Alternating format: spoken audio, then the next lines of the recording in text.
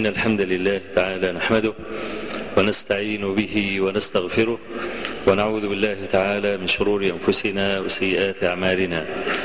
من يهد الله تعالى فلا مضل له ومن يضلل فلا هادي له. وأشهد أن لا إله إلا الله وحده لا شريك له وأشهد أن محمدا عبده ورسوله.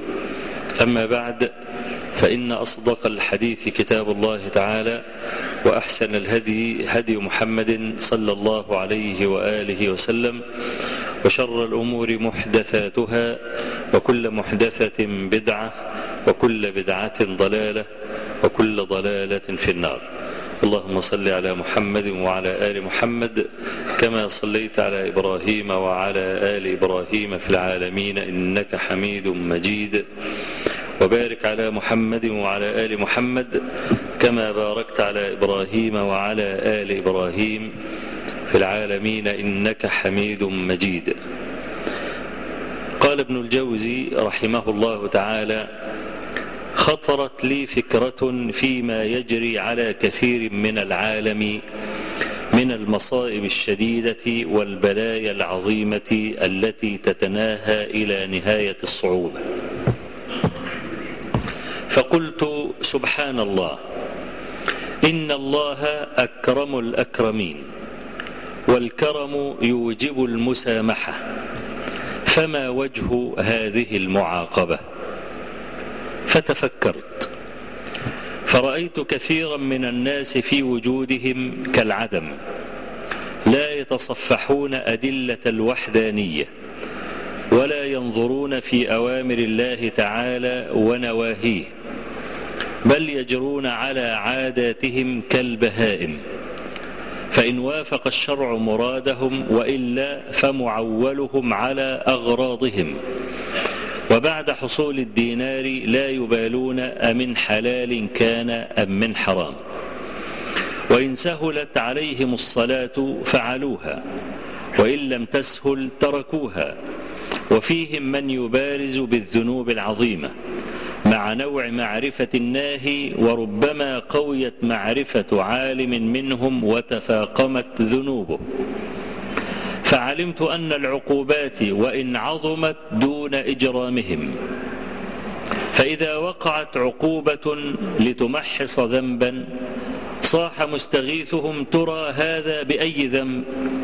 وينسى ما قد كان مما تتزلزل الأرض لبعضه. وقد يهان الشيخ في كبره حتى ترحمه القلوب ولا يدرى أن ذلك, أن ذلك لإهماله حق الله تعالى في شبابه. فمتى رأيت معاقبا فاعلم أنه لذنوب. فهنا في هذه الخاطرة يضع ابن الجوزي رحمه الله تعالى يده على أعظم مصيبة يبتلى بها العبد وتكون جالبة لكل عقوبة من الرب تبارك وتعالى. ألا وهي الذنوب. وأنا أذكر لما وقع الزلزال في مطلع التسعينيات أظن كان سنة 91 90 91 في هذه الآونة. خرج بعض الصحفيون بعض الصحفيين ويرد على أهل العلم الذين ذكروا الناس بأن هذا إنما هو لذنب. فأنكر أن تكون مثل هذه العقوبات لذنب أن الله يعاقب بذنب. وخرج أكثر من صحفي وفي هذه الآونة كنت تناولت هذه المقالات بالرد في بعض خطب الجمعة. ونحن نعلم أن الله تبارك وتعالى لا يعاقب أحدا قط إلا بذنب. وما من مصيبة تقع على أي دابة كانت إلا بذنب. حتى البهائم حتى البهائم برغم أنها غير مكلفة إلا أننا مثلا نعلم أن في بعض الأحاديث أن النبي صلى الله عليه وآله وسلم قال لأبي ذر وقد رأى عن زين ينتطحان قال يا أبا ذر تعلم فيما ينتطحان؟ قال لا يا رسول الله قال إن الله عز وجل يعلم وسيفصل بينهما.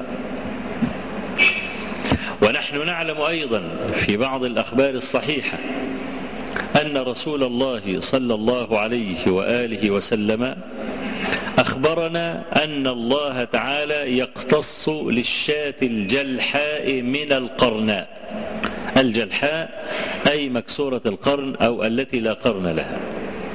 يقتص لها من القرناء ثم يقول للأنعام كونوا ترابا فحينئذ يقول الكافر يا ليتني كنت ترابا وفي صريح الآية في قوله تبارك وتعالى ولو يؤاخذ الله الناس بما كسبوا ما ترك على ظهرها من دابة ولكن يؤخرهم يبقى إذا نحن نمشي على الأرض بفضل محض تفضل الله تبارك وتعالى. فما من عقوبة تنزل إلا بذنب وقع. لكن وقع الذنب على العبد يختلف. فمرة يكون الذنب تكون العقوبة لتمحيص لتمحيص ذنب أو لرفع درجة. ده اسمه أثر أثر وقوع وقع الذنب على العبد. أما وقوع الذنب ابتداء فلا بد أن يكون لعقوبة. وهذا المعنى مبثوث في كثير من آيات القرآن العظيم. منها قول الله تبارك وتعالى مثلا كدأب آل فرعون والذين من قبلهم كذبوا بآياتنا فأخذهم الله بذنوبهم. إن الله شديد والله شديد العقاب. فهذا صريح أن الله عز وجل ما أخذهم إلا بذنوبهم. وكقول الله تبارك وتعالى أولما أصابتكم مصيبة قد أصبتم مثليها قلتم أن هذا قل هو من عند أنفسكم.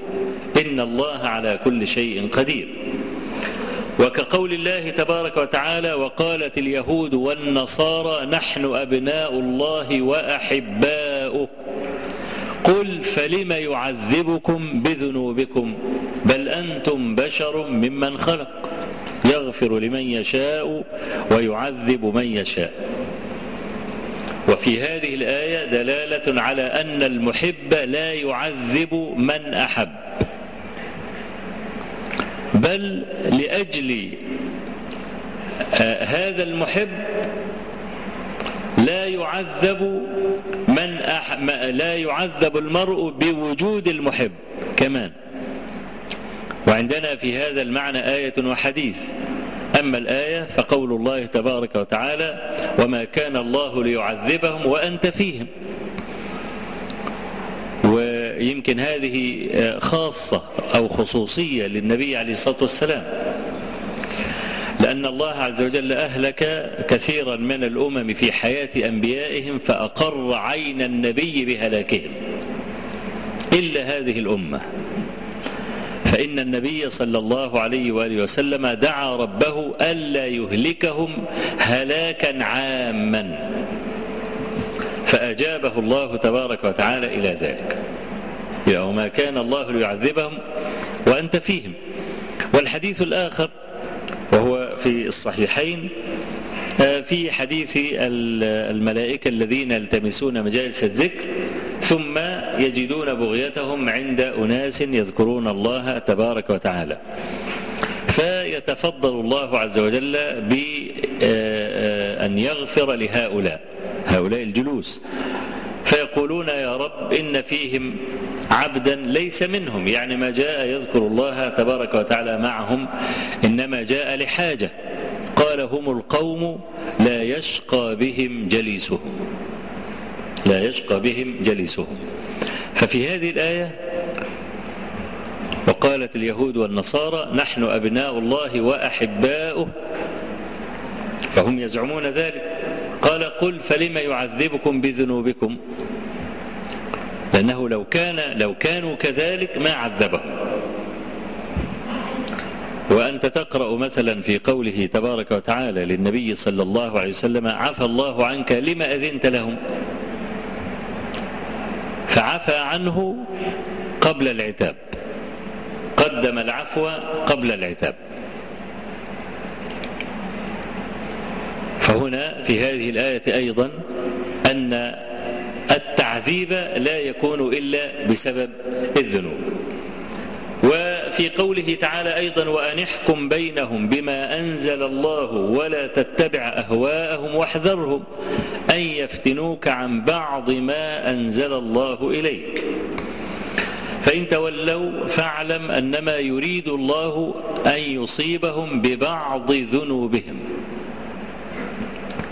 فهذا أيضا نص في أن الإصابة أو المصيبة لا تكون إلا بذنب. وكذلك قال الله عز وجل ألم يروا كم أهلكنا من قبلهم من قرن مكناهم في الأرض ما لم نمكن لكم وأرسلنا السماء عليهم مدرارا وجعلنا الأنهار تجري من تحتهم فأهلكناهم بذنوبهم وأنشأنا من بعدهم قرنا آخرين. وكذلك قول الله تبارك وتعالى أولم يهد للذين يرثون الأرض من بعد أهلها أو لو نشاء أصبناهم ببعض ذنوبهم أن لو نشاء أصبناهم بذنوبهم ونطبع على قلوبهم فهم لا يسمعون. فهذا أيضا نص أن العقوبة لا تكون إلا بذنب. وكذلك قول الله تبارك وتعالى كدأب آل فرعون والذين من قبلهم كفروا بآيات الله فأخذهم الله بذنوبهم. إن الله قوي شديد العقاب. ذلك بأن الله لم يكن مغيرا نعمة أنعمها على قوم حتى يغيروا ما بأنفسهم. فضرب المثل بآل فرعون ثم جعل الآية عامة في كل أمة بعد ذلك. بهذه الآية. أن الله لم يكن مغيرا نعمة أنعمها على قوم حتى يغيروا ما بأنفسهم. وهذه الآية لها أخت في سورة الرعد. نفس نفس نفس المعنى. إن الله لا يغير ما بقوم حتى يغيروا ما بأنفسهم. فما الأولى اللي هي المصائب؟ إن الله لا يغير ما أي ما أنزله من عقوبات على قوم حتى يغيروا ما أحدثوه. يبقى ماء الأولى هي الإيه؟ العقوبات وماء الثانية هي المخالفات. فما من مخالفة إلا يقابلها عقوبة. فإن رفعت المخالفة ارتفعت العقوبة. كلا هذا كلام واضح. يعني الذين يبحثون عن الإصلاح في المجتمعات لا سيما في المجتمعات المسلمين يرون المخالفات تملأ ديار المسلمين ومع ذلك يشتكي شاكيهم لماذا هذه العقوبات؟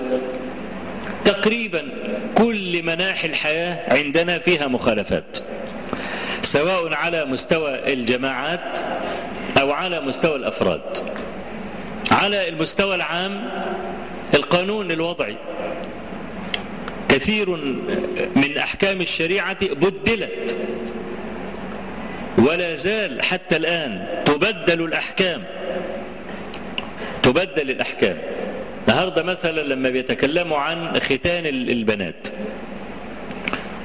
كنا مستحملين إن واحد يقول إن الختان ده يعني ليس واجبا. آه ماشي. كان المسألة محتملة.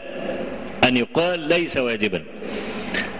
أو حتى أن يقول هو مباح ولولي الأمر أن يقيد المباح. زي ما عمالين نتكلموا النهارده. اللي بيتحزلق فيهم وفاهم شوية يقول الكلمتين دول. يقول لك لا ده هو لا واجب ولا مستحب. إنما هو مباح ولولي الأمر أن يقيد المباح. أيوة. دي قاعدة ماشي نوافق عليها بس لا نوافق على تطبيقها على هذا.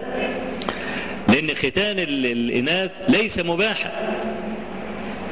ليس مباحا فقط يعني. إنما ختان الإناث على رأي أكثر أهل العلم من الحنفية والمالكية والحنابلة إنه مستحب. مكرمة والشافعية مشهور معروف أن الشافعية يوجبون ختان الإناث وهذا هو الصحيح. كنا لحد دلوقتي الدنيا ماشية. برضو إيه ما خرجناش عن أقوال أهل العلم جملة. لحد ما نبتلى بواحد يطلع يقول ختان الإناث حرام. طيب يعني الأحكام الشرعية. لا يقبل من أحد أن يأتي بحكم بعد هذه الأزمان المتطاولة يخرج عن كل كلام أهل العلم. إنما ممكن يدور بالذات فيما يتعلق بالحلال والحرام. الحلال والحرام دي مسائل منضبطة. ومرت هذه الأحكام على ملايين المسلمين سواء كانوا من جهة العلماء ولا من جهة العوام. يعني من لدن رسول الله صلى الله عليه وسلم. حتى الآن والحكم ماشي. حلال حرام. فلا يتصور أن يغيب حلال أو حرام عن الأمة جميعا ولا تعرفه. هذا مستحيل. واحد يكتشف النهاردة أنه كان في الأزمنة القديمة كان مستحبا وصار الآن حراما. بالذات الأحكام اللي لها أدلة. الأحكام اللي لها أدلة. قد يستساغ هذا في بعض الأحكام اللي تدخل تحت المصالح المرسلة مثلا أو الأحكام التي يمكن أن تتغير بتغير الزمان. ممكن. ودي عادة ما بيكون لهاش أدلة خاصة بيكون لها أدلة عامة. فممكن. المسألة دي قد تكون في بعض الأحكام بعض الأحكام. إنما مش في مسألة كبيرة زي ختان الإناث. الدنيا عمالة تتبدل والدنيا عمالة تتغير. الكلاب اقتلاء الكلاب لغير حرث ولا زرع لغير حر زرع ولا ضرع ولا ماشية. الحراسة يعني النصوص فيها واضح. حديث أبي هريرة وحديث ابن عمر وغيرهما من الصحابة أن النبي صلى الله عليه وسلم قال ينقص قيراط من أجر العبد إذا اقتنى كلبا ليس كلب زرع ولا ضرع ولا ماشية. نيجي النهاردة عشان ولاد الأكابر. النهاردة بيشتروا الكلاب ويركبوها السيارات معاهم والكلام ده هو وإحنا بنروح بقى النوادي الكبيرة. نروح نادي الشمس ونادي الصيد ونادي المش عارف إيه وكل واحد جايب الكلب وراه وهو جاي. طب أنا هقول لدول إيه بقى؟ أقول لدول بقى يبقى ينقص من أجرك قيراط. طب هو لا عنده قيراط ولا ربع قيراط ولا سهم حتى. ده أغلبهم تراك للصلاة كمان. فيبقى النهارده بقى الجماعة اللي جايين دول عشان خاطر يسمعوني والكلام ده كل واحد ساحب الولف وراه. طب أنا هقول لهم إيه دول؟ يوم تتبدل الأحكام. يقول لك لا أصل الكلاب ما فيش فيها مشكلة لأن لعاب الكلب طاهر على قول مالك ومش عارف إيه والغسلات السبع لا غير مفهومة المعنى. وكده. طب أنا ببدل ليه؟ النهارده لما يكون التبديل ده على المستوى الكبير وده وده منفذ واحد بس. ده غير بقى الفضائيات وغير النت وغير بقى الألوف المؤلفة اللي عمالين يتكلموا في دين الله عز وجل في ربوع الأرض والكلام. إحنا أمام مسخ كامل. أمام مسخ كامل. فلابد في هذه في, في الآونة أن يقف المرء وقفة صادقة وأن يرد الناس إلى أحكام الله تبارك وتعالى. ما هي دي كلها ذنوب اهو. ذنوب لما تتبدل الأحكام على رؤوس الأشهاد.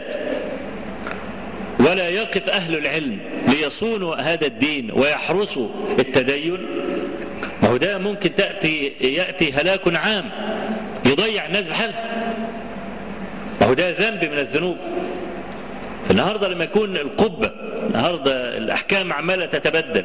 غير بقى أحكام الزنا مثلا إن الزنا ممكن يتم بالتراضي. تسقط القضية دخل الرجل وجد رجلا مع امرأته.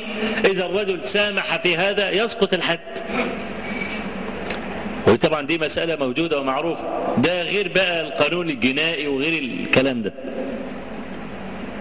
فأنت لما تنظر إلى شتى مناحي القبة نفسها فيها مخالفات. البيوع فيها مخالفات للركب. ليه؟ التجار أغلب التجار ما لهمش دعوة بالدين. فيما يتعلق بصفقاتهم. آه ممكن يكون بيصلي والكلام ده هو بس ملوش علاقة بإن الصفقة دي حلال ولا حرام. هو له علاقة بالمكسب. دي يتحقق له مكسب إيه؟ ولذلك تجد التجار الكبار أصحاب الشركات الكبيرة له محاسب وله مستشار قانوني وليس له مفتي. مع ان المفتي ببلاش مجانا يعني. ياخد المفتي ياخد منه ساعة وياخد منه ساعتين وساعات يبعت له ويلف بيه والكلام ده وكل ده يقول له متشكر يا مولانا. السلام عليكم. ما فيش لا يمين ولا شمال. إنما المحاسب بياخد فلوس مستشار قانوني بياخد فلوس. إيه معنى إنه بيقالش مفتي؟ ده معناها إن قصة الحلال والحرام مش موجودة. والأصل في البيوع الحل. يعني دي ده ده دي تبقى مشكلة. يعني العبادات مثلا الأصل فيها الحرمة فأنت لا تستطيع أن تعبد الله عز وجل إلا بنص لأن لا يجوز لك أن تعبد الله إلا بما يحبه الله. تبارك وتعالى. وأنت ما تعرفش ربنا بيحب ده ولا بيكرهه إلا عن طريق الرسول عليه الصلاة والسلام. في الآخر هترجع لإيه؟ لنص. تعبد الله عز وجل بغير مستند يقول لك بدعة. طب البيوع الأصل فيها الحل طب إحنا أمة مستهلكة ولا أمة منتجة؟ لا طبعا نحن أمة مستهلكة. كل حاجة إلا قليلا عندنا يعني بنجيبها من بالكفر يبقى هم اللي بيبيعوا اللي بيبيع عايز يأمن نفسه ويأمن مكسبه والكلام ده. فبيحط من الشروط ما يوافق غرضه. قد يكون في شرط من الشروط ده فيه حرمة. لأن اللي حاطط الشروط دي كافر المنتج كافر. أنت كمسلم تروح تعمل الصفقة كلها ما يخطرش على بالك ولا يجري على قلبك إن في حلال وحرام في المسألة دي. ويروح يجمع الأموال المتلتلة وكتر الملايين وكتر المليارات عشان مين بقى إن شاء الله؟ عشان مين؟ اللي جاي وراك ما يستاهلش الفلوس. لا يستحقها. انت اللي هتسأل كلها عنه وتنتقل له بانتقال تغير المحل حلالا زلالا إلا ما يتعلق بالمال المغصوب المعين. هو ده بس الوريث لازم يرجعه. إنما المال حتى لو كان من حرام إذا تغير المحل انتقل بقى من شخص لشخص انتقلت العين يعني من شخص لشخص خلاص بيبقى حلال. إلا المال المغصوب المعين. يعني مثلا واحد أبوه خد حتة أرض بتاعت فلان الفلاني واغتصبها منه.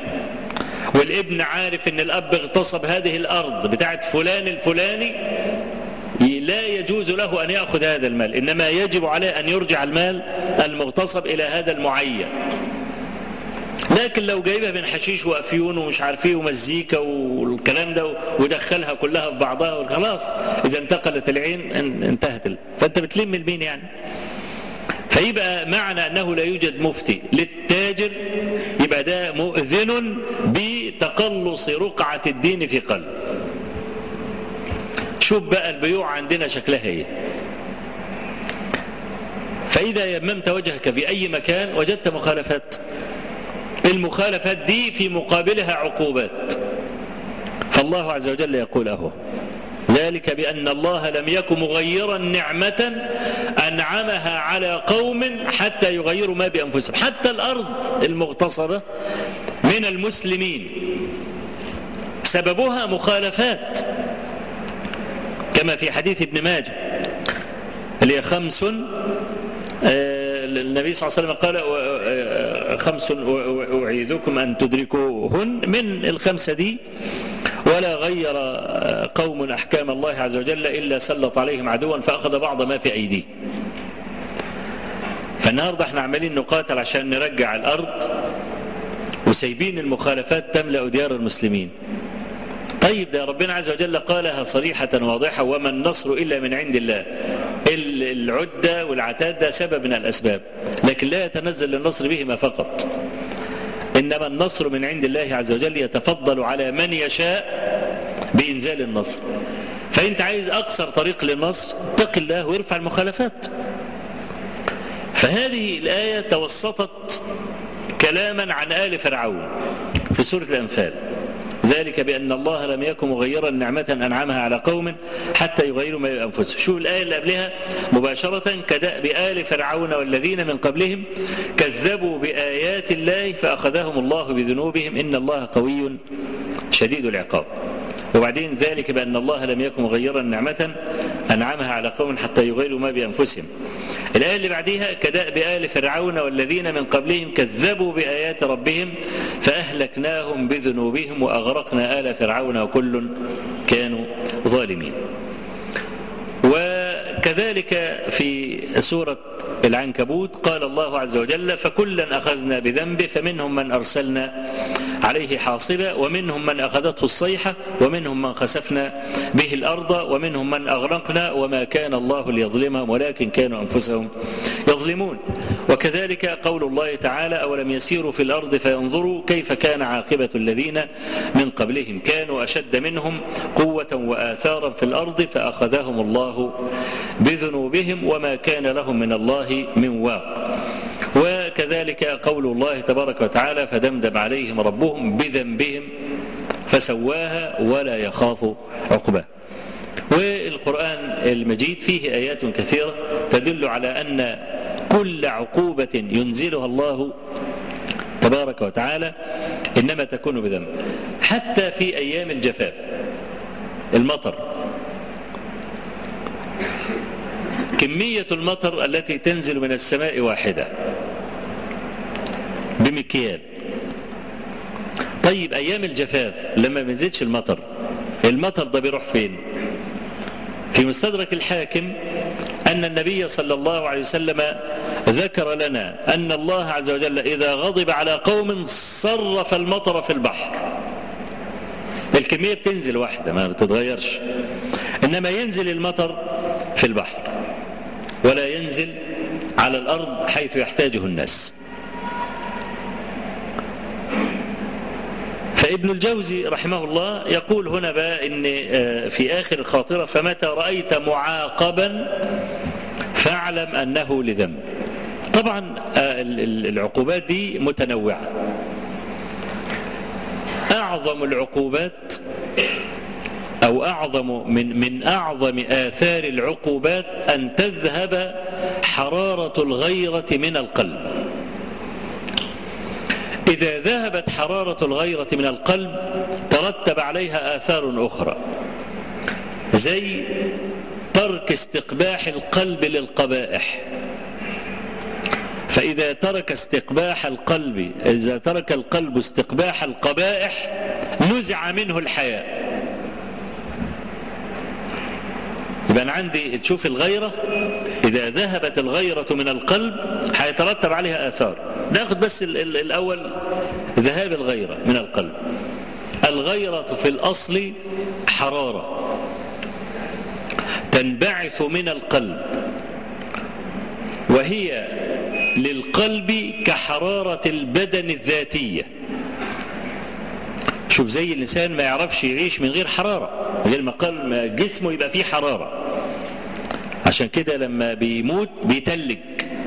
بتنزع الروح تبتدي أطرافه تتلج. يقول لك حرارة الحياة وبرودة الموت. فالحرارة الذاتية في البدن اللي هي لا يعيش البدن إلا بها يقابلها الغيرة في القلب. والغيرة حرارة. يمكن يشعر بهذه المسألة المرأة إذا غارت. المرأة إذا غارت كأن في نار ماشية في العروق. وده يعني بيختلف من واحدة لواحدة على حسب الإيه؟ على حسب شدة الغيرة. والغيرة أيضا من الغل. برضه ما هو الغل نار. فهذه الغيرة التي هي حياة القلب واللي هي بت بت بتسبب للعبد المنافسة المنافسة إنما تكون بسبب الغيرة. حتى في الطاعات مش لازم تتنافس في الدنيا حتى في الطاعات.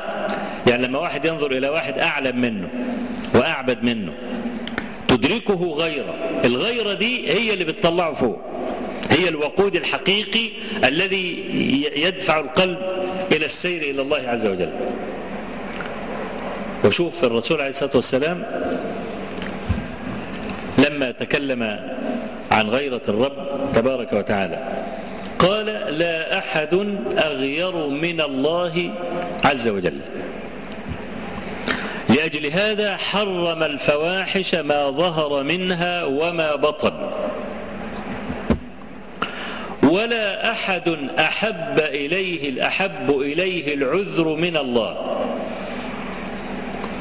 لأجل هذا أرسل الرسل. ولا أحد أحب إليه المدح من الله. ولهذا أثنى على نفسه. فشوف الثلاثة دي مترتبة على بعض. لا أحد أحب إليه العذر من الله. لا أحد أغير من الله تبارك وتعالى. لأجل هذا حرم الفواحش ما ظهر منها وما بطن. خذ الحديث ده مع ما رواه الشيخان في قصة سعد بن عبادة. لأن أنا قلت لك الثلاثة دول متركبين على بعض. العذر الغيرة والعذر والمدح. ده في حق الله تبارك وتعالى. الحديث اللي انت سمعتوه الآن. حديث واقعة سعد بن عبادة في الصحيحين لما جاء هلال بن أمية الواقفي وقال يا رسول الله وجدت رجلا مع امرأتي. فقال يا هلال أربعة شهداء أو حد في ظهرك. ده قبل أن تنزل آيات الملاعنة بين الرجل وامرأته حفظا برضو للأعراض. فقال سعد بن عبادة يا رسول الله أدعوه معها لا أهيجه. والتمس له أربعة شهداء والله ما أعطيه إلا السيف غير مصفح. أي أضربه بحده لا أضربه بصفحه. تعرف السيف له حد وصفح؟ ده السيف أهو هذا حده وده صفح وده صفح. لما تضربه بالصفح هتموته؟ لا مش هتموته. انما تموته لما تضربه بالحد. فيقول إيه؟ لا انما أضربه بالسيف غير مصفح أي لا أضربه بصفحه إنما أضربه بحده. فقال النبي عليه الصلاة والسلام انظروا ما يقول سيدكم لأنه بيعارض كده كلامه فيه معارضة لما أنزل الله عز وجل من وجوب الإتيان بأربعة شهداء لإثبات الزنا. قالوا يا رسول الله إنه غيور. في بعض طرق الحديث قالوا والله ما تزوج امرأة قط إلا بكرا وما طلق امرأة فجرؤ أحدنا أن يتزوجها بعده. من شدة غيرته طب انت أنت طلقتها خلاص بقت حرة. لا مش حرة. طالما أنها تزوجت سعد بن عبادة تفضل طول عمرها هي تفضل طول عمرها مطلقة. ده من شدة إيه؟ من شدة غيرته رضي الله عنه. فقال النبي صلى الله عليه وسلم تعليقا على هذا. إن سعدا يغار وأنا أغير من سعد والله أغير مني. تفهم إيه من هذا الكلام هذا التعليق؟ إن مش معنى الغيرة إنك تتجاوز حدود الله. ألا ما تقولش لا أنا غيور وتقوم معدي. ولا تتهم غيرك ممن وقف وقف على حدود الله عز وجل إن هو بارد. ما عندوش حرارة ما عندوش حمية. ما برضه الحرارة والحمية دي برضه ضيعت الكثير من المسلمين. لا يحتمل أن يرى منكرا من المناكير داخل على طول. مغير المنكر بطريقته الخاصة يتسبب على المنكر أكبر منه. لا. مش معنى أن أنا واقف أرى. هذا المنكر وساكت ان أنا بارد وأنت دخلت قطعت رقبتهم إن أنت اللي غيور. لا. فهو سعد رضي الله عنه لم يحتمل هذا. عشان كده النبي صلى الله عليه وسلم قال ليس معنى أن أقول له أربعة شهداء أو حد في ظهرك أنه أغير مني. لا أنا واقف على حدود الله وأنا أغير منه. والله عز وجل الذي أنزل هذا أغير مني. لأن في بعض الناس قد تدفعه الغيرة إلى تجاوز حدود الله تبارك وتعالى. عشان كده جاء العذر بعد ذكر الغيرة في الحديث. لا أحد أغير من الله عز وجل. لذلك حرم الفاحش. ولا أحد أحب إليه العذر من الله. جد بعد الغيرة أن الله عز وجل برغم شدة غيرته تبارك وتعالى على تجاوز حدوده إلا أنه يعذر. ولذلك أرسل الرسل فلا يعذب تبارك وتعالى أحدا إلا بعد وصول بلاغ الرسول إليه. الجماعة اللي يقول لك ما فيش عذر بالجهل والكلام ده يقول لك طب ما هو أرسل الرسول. لما تقول وما كنا معذبين حتى نبعث رسولا يقول قد بعث الرسول. أيوة بعث الرسول لكن القصد من بعثة الرسول إنما هو وصول كلام الله إلى الخلق. مش بعثة الرسول أي رسول يعني بشخصه. لا. ولذلك قال الله عز وجل فيما يتعلق بالقرآن لأنذركم به ومن بلغ. فلا بد أن تصل الحجة. عشان كده ربنا عز وجل لا يعذب أحدا إلا بعد وصول البلاغ. إذا لم يصله البلاغ فهو معذور. قد يعاقب على تقصيره مثلا لكن لا يقال إنه كافر أو أنه لا يقبل منه. لا. يبقى ذكر العذر بعد الغيرة يستحق صاحبه المدح. لذلك جاء المدح في في النهاية. ولا أحد أحب إليه المدح من الله لأنه هذا هو كمال الإحسان. كمال الإحسان أن تنصف الناس من نفسك. هذا فيما يتعلق بالعبد أن تنصف الناس من نفسك. لعل له عذرا وأنت تلوم. أنت ممكن تؤاخذه بما له فيه عذر. لو افترضنا جدلا أن رجلا له عند رجل حق وهذا الرجل جحد هذا الحق هل يجوز لك أن تأخذ من ماله ما يعادل حقك؟ آه يجوز. بس لابد أن يثبت حق لا شبهة فيه. وخلي بالك طبعا لأن الكلام ده بعض الناس ممكن يفهمه غلط. يعني أنا جبت واحد واتفقنا على أنه هيعمل الشغلانة دي بمبلغ من المبالغ ألف جنيه. واتفقنا. قلت له خلاص أنا موافق اشتغل. بدأ يشتغل. قال لا الشغلانة بتاعتك دي أنا بعد ما عملتها ضربتها في دماغي لقيت 700 بس. وما فيش غير 700 طب هل يجوز لهذا الرجل إنه ياخد من ماله رغما عنه ما يوازي 300 جنيه؟ ولا لا يجوز؟ يجوز. هذا يجوز. ليه؟ أو إيه دليله؟ حديث هند بنت عتبة. في الصحيحين لما قالت يا رسول الله إن أبا سفيان رجل شحيح فهل علي أن آخذ من ماله بغير إذنه؟ قال خذي ما يكفيك وولدك بالمعروف. أبو الحسين البغوي في شرح السنة كان له تعليق تحت هذا الحديث وهو جواز أن يستوفي المرء حقه ممن جحده.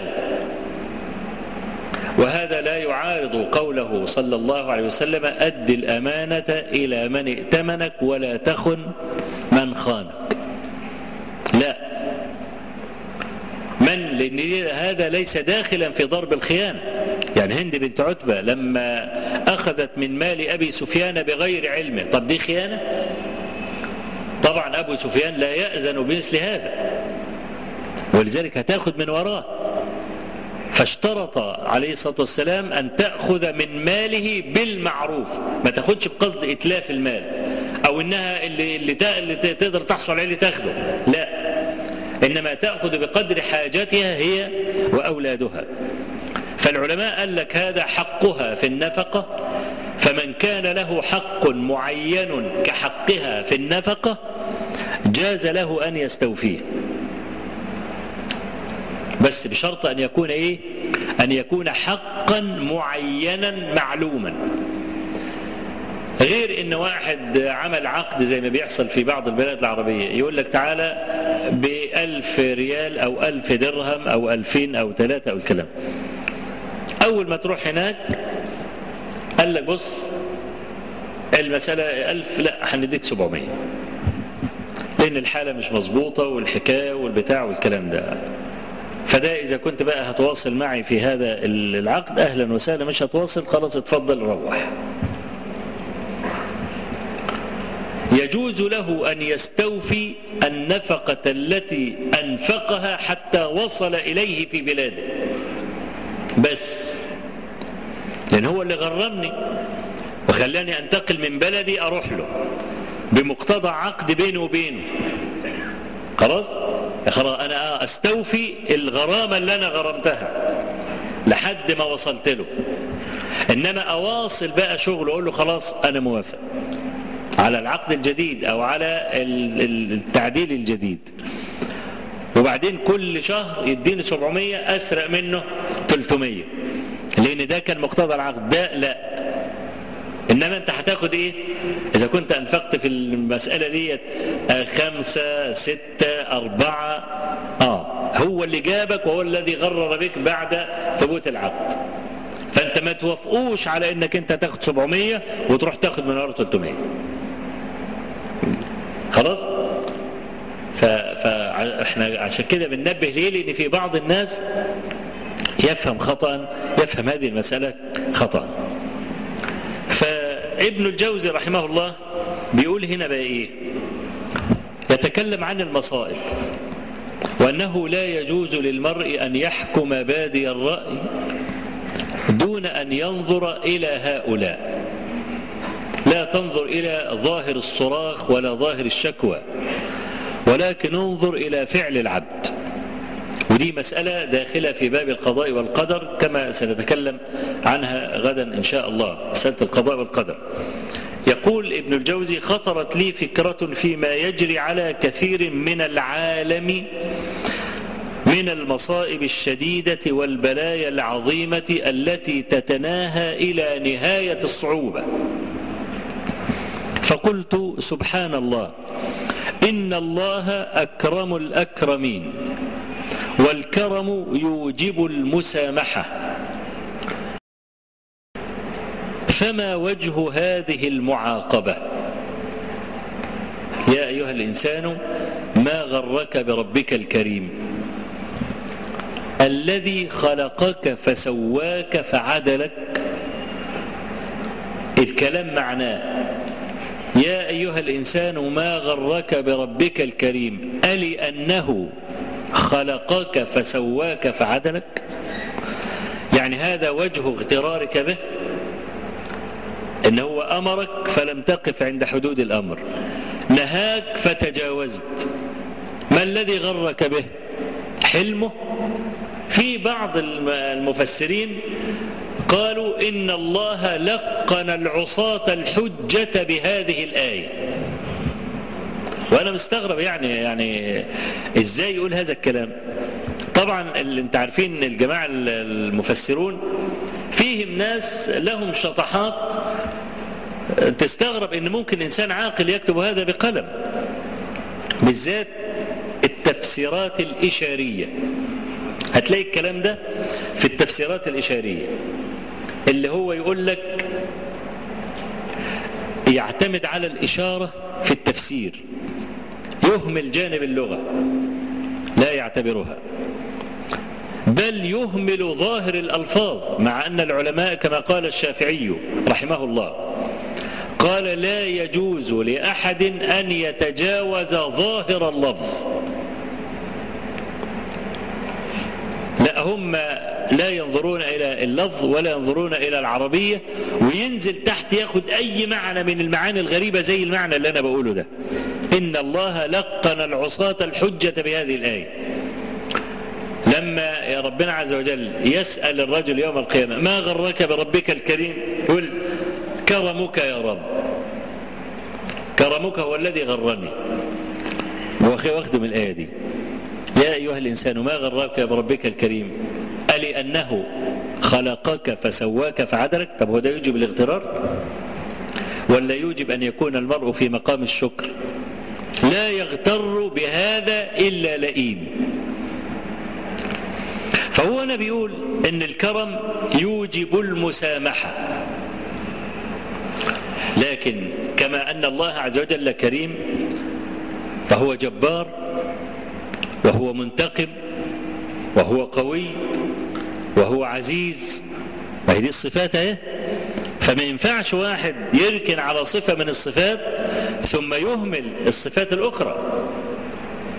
ده حتى بعض الصف صفات الرحمة التي قد ترد في سياق العذاب كمان. كما قال إبراهيم عليه السلام لأبيه يا أبت إني أخاف أن يمسك عذاب من الرحمن فتكون للشيطان وليا. طيب يعني المناسب أن يمسك عذاب من المنتقم من الجبار من العزيز من القهار لكن من الرحمن؟ يعني الرحمن يعذب؟ طب إيه وجه ذكر الرحمن في الآية؟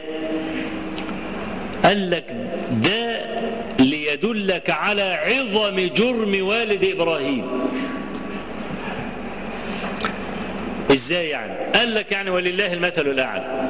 لو تصورنا إنسانا حليما يضرب به المثل في الحلم بحيث لا يستطيع أحد أن يهيجه مهما فعل. حليم جدا جدا يعني. وانت ماشي معدي كده لقيت الحليم ده ماسك واحد وبينفضه في الأرض. وعمال يدوس عليه ويديله باللكاكيم ويديله مش عارف بالإيه ونازل ضرب فيه. انت هتقول إيه؟ هتقول الراجل ده عمل إيه ده؟ ده أكيد عمل جناية ملهاش أخت. عشان يستفز هذا الحليم ويضربه كل هذا الضرب يبقى الراجل ده جنايته شكلها إيه بقى؟ هو ده المعنى اللي وارد في الآية. يا أبت إني أخاف أن يمسك عذاب من الرحمن. الرحمن يعذب. يشوف الجرم بتاع والد إبراهيم شكله إيه بقى؟ فيبقى هذه الصفة إنما جاءت في الآية لتبرز جرم والد إبراهيم. وطبعا أعظم أعظم الجرم على الإطلاق هو الشرك الشرك بالله. الذي لا يقبل الله عز وجل فيه شفاعة أحد مطلقا. كما برضو في الصحيحين لما يعني لقي آزر حديث أبي هريرة لقي آزر ابنه إبراهيم فقال يا إبراهيم يعني اشفع لي. ألم يعدك الله عز وجل ألا يخزيك؟ خلاص لا أخالفك اليوم يا إبراهيم. فإبراهيم عليه السلام يدعو ربه تبارك وتعالى أن هو يغفر لأبيه لوالده. ويقول يا رب إنك وعدتني ألا تخزني يوم يبعثون. وأي خزي أعظم من خزي أبي الأبعد. الأبعد زي ما أنت تقول البعيد عمل كذا. فقال يا إبراهيم إني حرمت الجنة على الكافرين. وشوف بقى مع مال إبراهيم عليه السلام من المكانة واتخذ الله إبراهيم خليلا. مع ما له من المكانة الكلام قاطع ونهائي. إن الله لا يغفر أن يشرك به. خلاص إني حرمت الجنة على الكافرين. ولأجل أن يخف تخف المسألة على إبراهيم عليه السلام. حول الله عز وجل والد إبراهيم إلى ضبع. ضبع. بذج. كما في الحديث.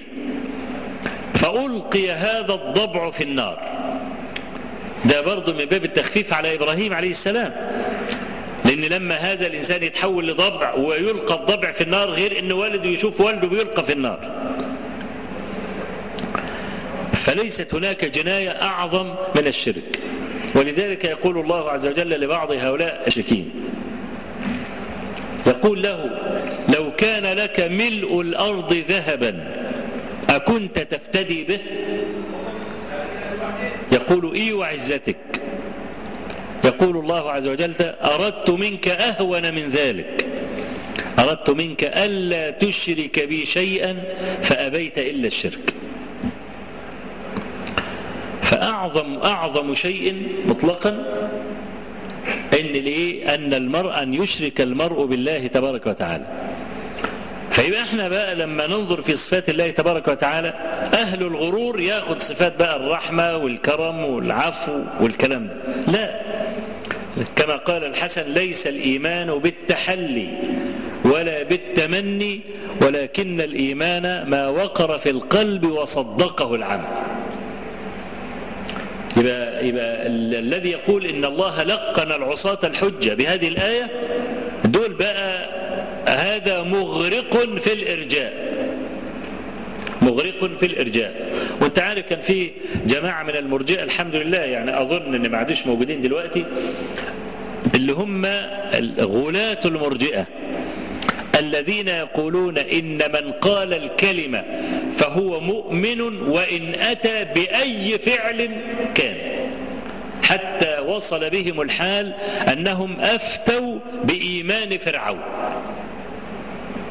ليه؟ لأن فرعون قال الكلمة. قال آمنت أنه لا إله إلا الذي آمنت به بنو إسرائيل. طب ده حتى الكبر حتى واضح في الكلمة اللي قال الكبر. مش عايز يقول آمنت بالله. لا بقول آمنت أنه لا إله إلا الذي آمنت به. طب الذي آمنت به بنو إسرائيل إيه بقى؟ حتى هو بيغرق برضه منفوخ ومنفوش ومش عارف مش عارف مش عايز يذل. ومع ذلك فإيمان المعاين عند جماهير العلماء لا قيمة له. الملائكة وروحها تطلع بيؤمن ملوش إيمان وليس له أي قيمة. وصل الحال بأناس ينتسبون إلى القبلة يقولون مثل هذا الكلام. طبعا ده بخلاف قول مرجئة الفقهاء. لا دول بقى غلاة المرجئة. كان منهم عبد الغني النابلسي أحد متفقه الحنفية في الجماعة المتأخرين. له كتاب عجيب.